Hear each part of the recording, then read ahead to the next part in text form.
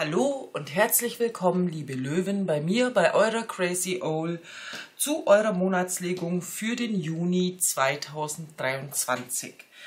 Ihr wisst, es ist eine allgemeine Legung, ähm, die Rollen können vertauscht sein. Ihr als Zuschauer seid, wenn in diesen beiden Decks die Dame fällt, immer die Dame, egal ob ihr männlich oder weiblich seid. Euer Gegenüber oder die Person, auf die ihr schaut, ist immer der Herr.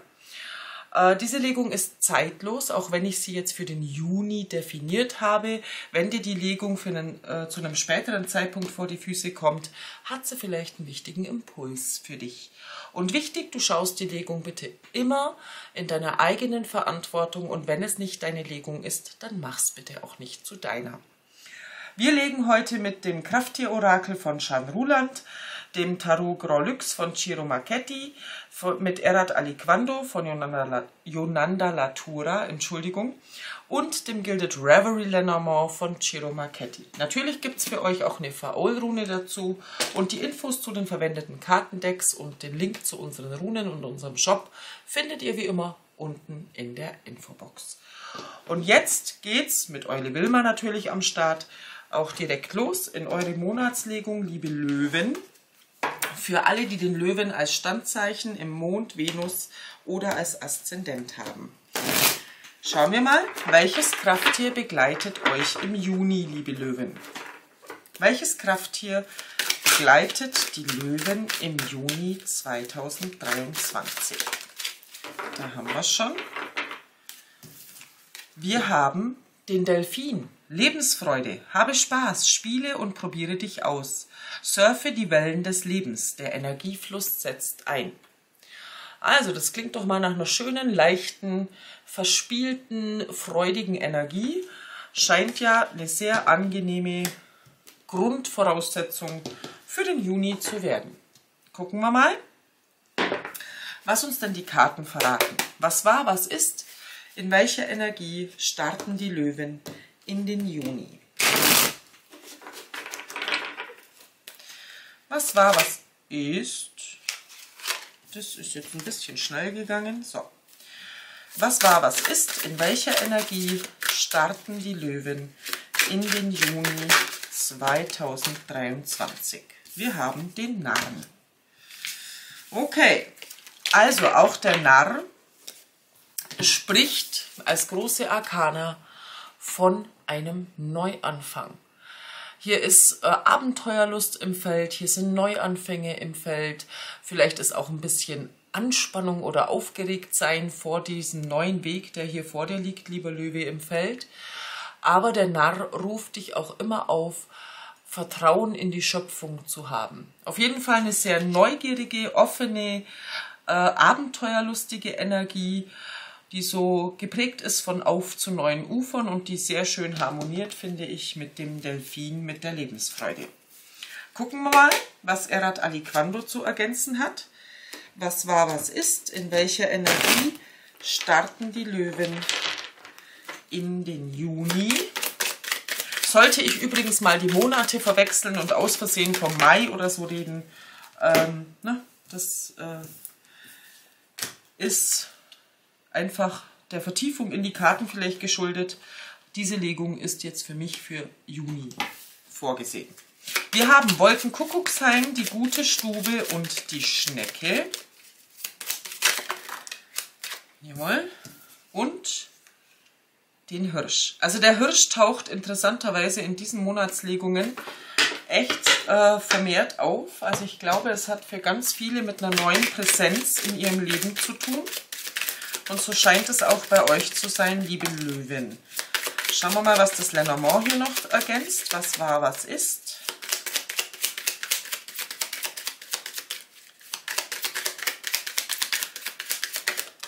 Dankeschön. Mhm, mhm, mhm. Okay. Also. Ähm, was war, was ist? Wir haben Wolkenkuckucksheim. Wolkenkuckucksheim spricht immer von Vision und Illusion. Also von der Illusion zur Vision. Ich glaube, du bist gerade äh, an so einer Neuanfangsenergie, wo du neu bei dir angekommen bist mit der guten Stube. Und hier gerade auch ganz viele Träume, Visionen, Möglichkeiten in deinem Kopf rumgeistern, auf welches Abenteuer du dich als nächstes einlassen möchtest, ähm, welche Herausforderung du dich vielleicht auch stellen möchtest. Und ähm,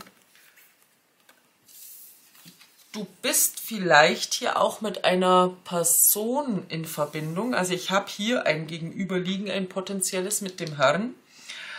Und auch die Schnecke ist, bezeichnet eine andere Person oder eine andere Energie. Und die Schnecke ist einfach eine langsame Person. Also während du dich hier äh, in deinem stillen Kämmerchen vielleicht auch mal damit befasst, okay, welche Abenteuer, welche Ziele, welche Visionen, welche Träume äh, habe ich denn hier noch und welche möchte ich angehen, befasst, kann es sein, dass du mit einer Person in deinem Umfeld konfrontiert bist, die hier irgendwie nicht so wirklich mitzuziehen scheint.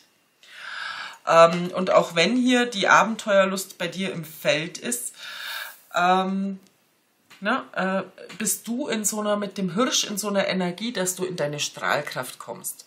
Also du bist hier wirklich so gerade in, mir kommt bei dir so eine, so, ja, du, du hast das Gefühl, als ob du endlich bei dir angekommen wärst und du willst jetzt auf zu neuen Ufern, als ob du wirklich so eine vielleicht auch schwere Phase hinter dich gebracht hast, wenn du hier in Resonanz bist und jetzt einfach wieder merkst, hey, meine Kräfte kommen zurück, meine Strahlkraft kommt wieder zurück, ne? ich bin lebensfroh, ich genieße mein Leben, ich fühle mich wohl in meiner Haut, da ist einfach so diese, ja, so, hey, hier bin ich, ne? so diese Hey, hier bin ich Energie und du bist aber dennoch konfrontiert, weil dieser Hirsch röhrt hier ja auch weg von dieser langsamen Energie. Also du hast es hier mit einer äh, vielleicht eher trägen oder langsamen, vielleicht sogar manchmal in ihr Schneckenhaus sich zurückziehenden Person zu tun. Ja, und das sagt mir auch das Lenormand, denn wir haben hier den Herrn und den Berg. Also es gibt hier ein Gegenüber, auf das du schaust oder eine nahestehende Person, mit der du zu tun hast, die sich hier blockiert. Mit dem Berg äh, ist es gerade blockiert, aber der Berg ist ja keine Herausforderung, die man nicht überwinden könnte. Ne? Also diese Blockade kann überwunden werden. Im Moment wirkt die aber noch. Gucken wir mal was denn da auf euch, liebe Löwen, im Juni zukommt. Was kommt auf die Löwen im Juni zu?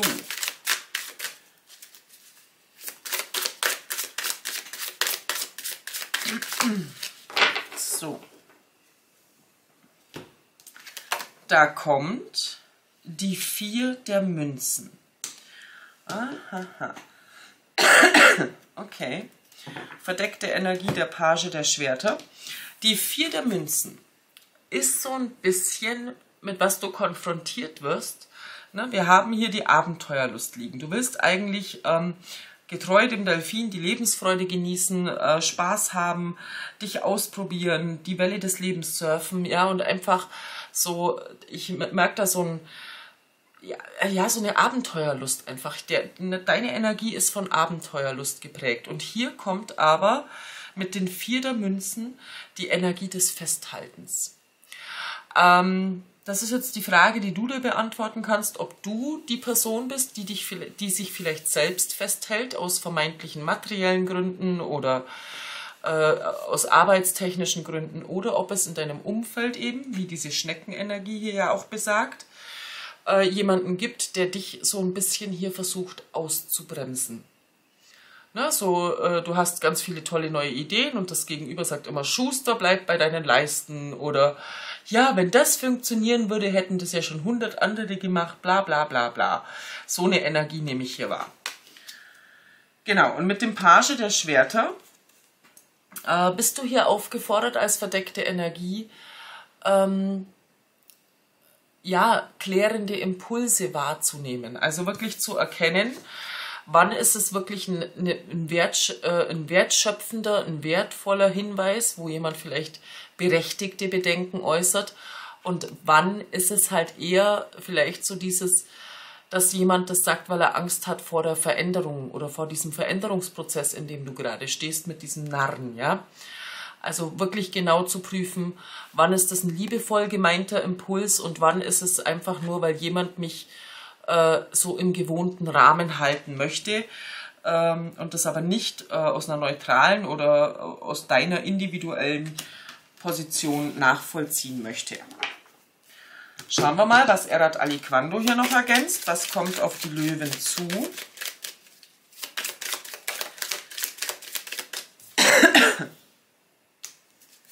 Da kommt der Goldfisch. Das Glühwürmchen, das sind jetzt einfach zu viele. Wir mischen nochmal.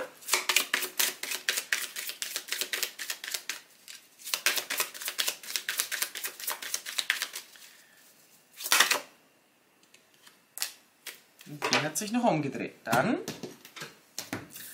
haben wir das Durcheinander und den Zyklus. Schauen wir mal, was das Lenormand noch ergänzt. Was kommt auf die Löwen zu? Da haben wir den Schlüssel und das Buch. Mhm. Okay, also mit dem Goldfisch bist du ja wie der Delfin im Wasser, wie der Fisch im Wasser. Ne? Du bist hier so ein bisschen in, in der Flow-Energie.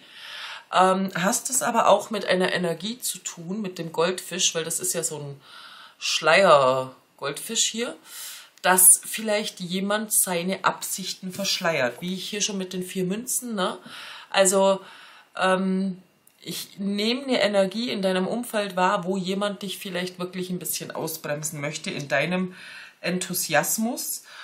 Ähm, und da gilt es eben für dich ähm, zu gucken, wann ist es eben ein wohlwollend gemeinter Rat und wann nicht.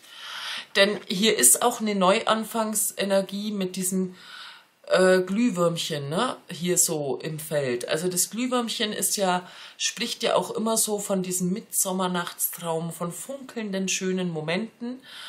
Ähm, und ich glaube, du bist hier schon sehr charismatisch unterwegs und sehr im Fluss mit dir und mit deiner Euphorie und deiner Strahlkraft.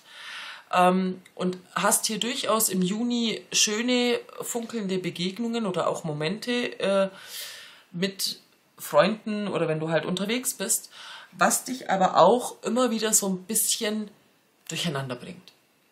So, das ist, ähm, ja, wie soll ich das beschreiben? Ähm, hier, hier gilt auch, hier, hier wirkt ein Zyklus. Und das ist, ich habe so ein bisschen das Gefühl, lieber Löwe, also wenn du hier in Resonanz bist, kann das gut sein, dass du die letzten Monate vielleicht energetisch wie in so einem Tiefschlaf warst.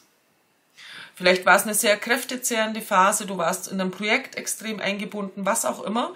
Also das war wie wenn du auf Tauchstation warst und jetzt auf einmal, ne, so, so auftauchst mit dieser Narrenergie und ich will neue Abenteuer und jetzt bin ich wieder hier und schaut und ich fühle mich wohl in meiner Haut, ich habe mich regeneriert und keine Ahnung und jetzt bin ich hier wieder und irgendwie ist hier aber so eine bremsende, blockierte Energie in deinem Feld.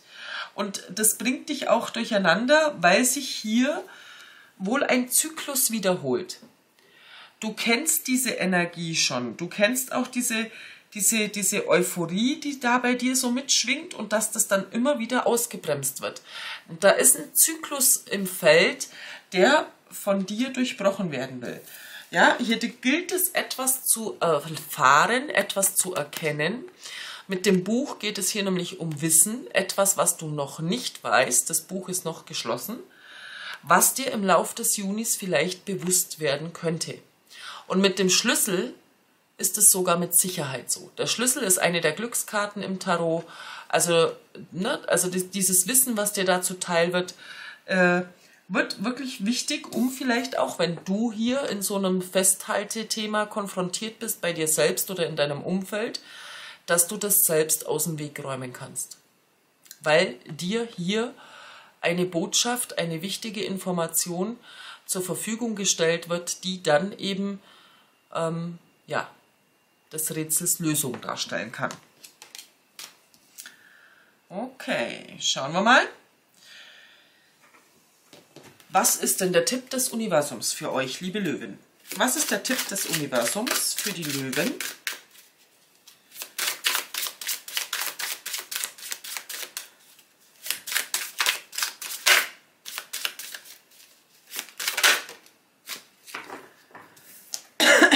Die Neun der Stäbe ist der Tipp des Universums. Okay. Also die Neun der Stäbe ist die Karte ähm, des Stehaufmännchens. Ne? Du hast schon viele Schlachten geschlagen äh, und du bist auch immer wieder aufgestanden. Und mit den Neun der Stäben haben die Erfahrungen dazu geführt, dass man sehr viel über Grenzen gelernt hat ne, wie man eigene Grenzen setzt, wie man anderen gegenüber die Grenzen auch wahrt, wie man anderen gegenüber die Grenzen setzen kann. Und ähm, auch dieser Herr hier ist ja dabei, sich nach diesem eben verwundenen Stab hier wieder aufzurichten und diesen letzten Stab aufzustellen. Also du bist, ähm, der Tipp des Universums ist dir vielleicht auch bewusst zu machen, was du schon alles überstanden hast und dass dir jetzt vielleicht diese Lebensfreude, diese Leichtigkeit einfach zusteht und du dir das auch mal gönnen darfst, ohne dass du das immer gleich rechtfertigen musst. Ja, also ich spreche jetzt nicht davon, ich meine, es, es geht hier ja nicht um so eine, so eine Sache, dass du dein, dein, deine ganzen, dein ganzes Erspartes, äh, Erspartes äh, zum Fenster rauswirfst, als ob es kein Morgen mehr gäbe, sondern es geht ja einfach nur darum, zu genießen, dass du dich wohl in dir, mit dir fühlst, dass du merkst, hey, mein Herz fliegt wieder, meine Augen fangen an zu leuchten und diese Präsenz von dir selbst zu genießen. Ja, und das hast du dir auch verdient nach den Bürden der Vergangenheit. Also stell dich hin und prüf auch hier immer wieder gut, ne, was diese vier Münzenergie mit festhalten, ob die eben in die, ob dich in dir selbst noch etwas zurückhält oder ob in deinem Umfeld Energien sind, die dich eben in, in diesem Enthusiasmus, in dieser Lebensfreude versuchen zu dämpfen oder zu bremsen. Was ergänzt denn Erat Aliquando hier noch dazu? Was ergänzt denn Erat Aliquando als Tipp des Universums für die Löwen?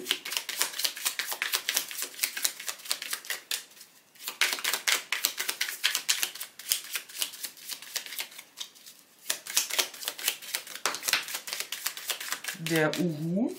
Da kommt wieder das Wissen. Aha, Okay. Das Spinnrad. Die uralte Eibe. Eine würde ich noch nehmen. Danke, die geht tief. Die Geduld. Mhm. So. Dann schauen wir gleich noch, was das Lenormand ergänzen will. Was will das Lenormand als Tipp des Universums noch ergänzen?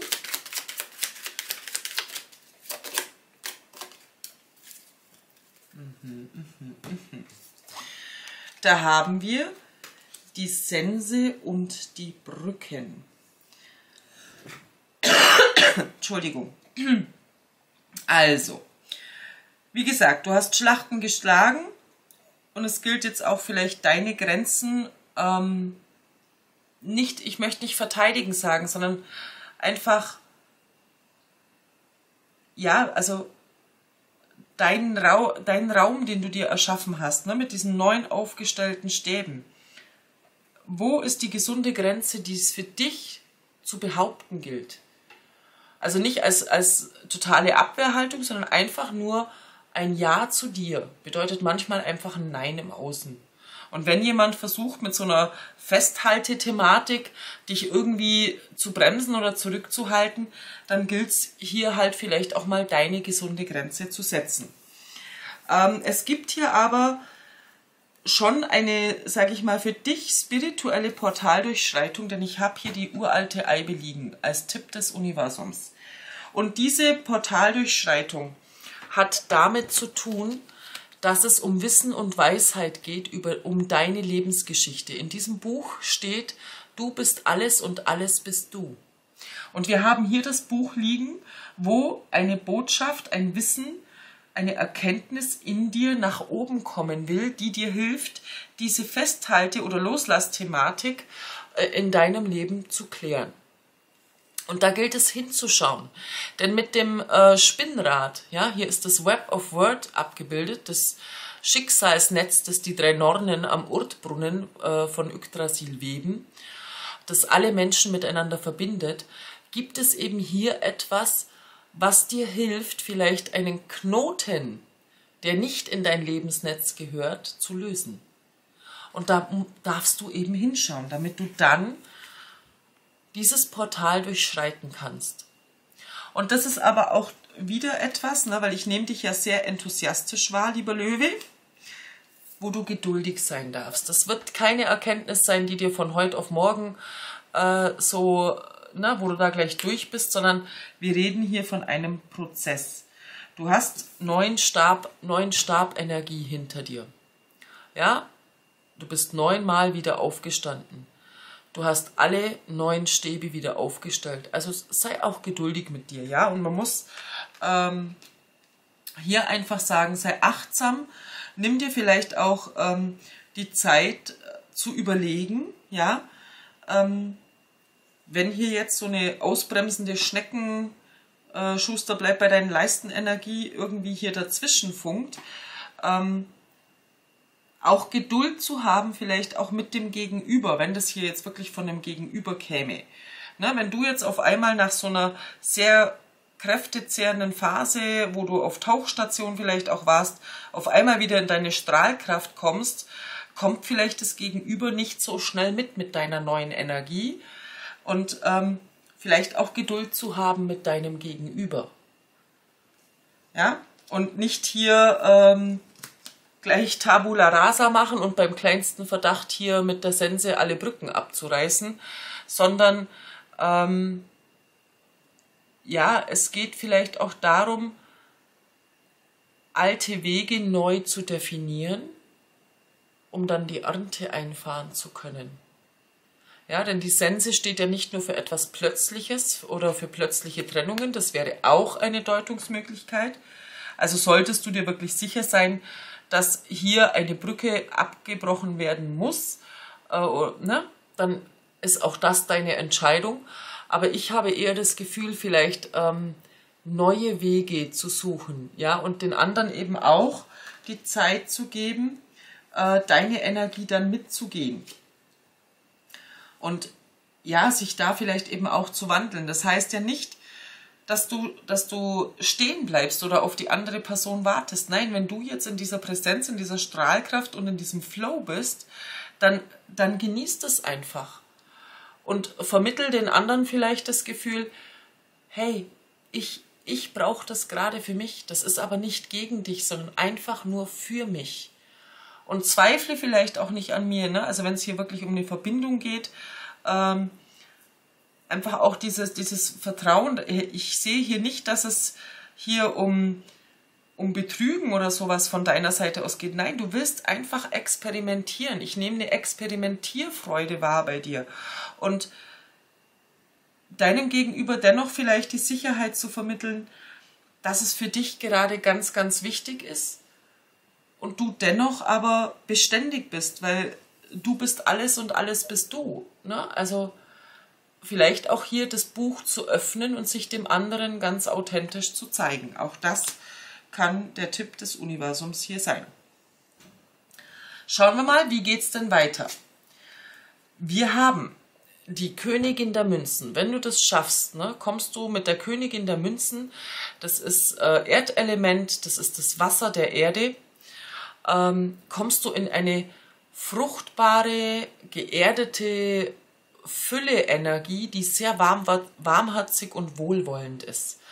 Und in dieser Energie ist es dir auch möglich, die Süße des Lebens zu genießen mit dem Bär, denn die hast du eine ganze Zeit lang vermisst. Ja, und es geht auch weiter, dass du diese Strahlkraft für dich ausleben sollst, denn auch diese Strahlkraft und diese diese Lebensfreude, diese Energie, dein einzigartiges Leuchten, das hast du, glaube ich, eine ganze Zeit lang vermisst. Und das kündigt sich eben hier wieder an. Und da gilt es, ich muss kurz ein Bikini bauen, so, weil die Dame hat eine entblößte Brust. So. Äh, und da gilt es einfach wirklich auf dein Herz zu hören, ja, und dich auch freudig, erwartungsvoll dem zu stellen, was sich dir hier zeigt. Aber aus deinem Herzen zu handeln. Und das ist ganz, ganz wichtig im Weiteren dann. So, jetzt schauen wir mal noch, welche Rune begleitet denn euch, liebe Löwen, im Juni 2023? Welche Rune begleitet die Löwen? Da habe ich sie. Ja, schau mal die Gebu. Die Gebu ist die Rune der Gabe. Die, die, das ist das Geschenk. Und jedes, die Gebu hat aber auch die Eigenart, dass jedes Geschenk auch einen gewissen Preis hat. Und ich glaube, der Preis, den du bereits entrichtet hast, sind die neun Stäbe. Ja? Niedergestreckt worden zu sein und sich immer wieder aufzurichten und auch zu verstehen, dass das Leben eben in zyklischen Kreisen hier läuft, ne, mit dem Zyklus. Es gibt immer ein Auf und ein Ab, es ist immer eine Wellenbewegung. Und jetzt aber wirklich zu genießen, dass du das Geschenk erhalten hast, dass du gerade in dieser, dieser Strahlkraft, in dieser, in dieser Lebensfreude, in diesem Enthusiasmus, in diesem Entdecker- und Abenteuergeist bist. Ja, im Endeffekt auch steht die Gebu dafür, in seiner Mitte wieder anzukommen und in alle Richtungen zu strahlen. Und genau das ist deine Energie, die ich hier mit dem Narren wahrnehme, zu der dich auch der Delfin aufruft als dein Krafttier, lieber Löwe. Ne, habe einfach Spaß, spiele und probier dich aus, genieße es. Äh, surfe die Welle des Lebens, ja, also sei einfach, ähm, ja, lass dich vielleicht auch von der Lebensfreude einfach mal von der Welle der Lebensfreude tragen. Das war eure Legung für den Juni, liebe Löwen. Ich wünsche euch einen zauberhaften Monat. Freue mich, wenn ihr mir ein Like, Abo, einen Kommentar äh, da lasst oder meine Videos teilt. Fühlt euch umärmelt und gedrückt. Ich sage bis zum nächsten Video. Bis demnächst, eure Crazy Owl. Ciao, ciao.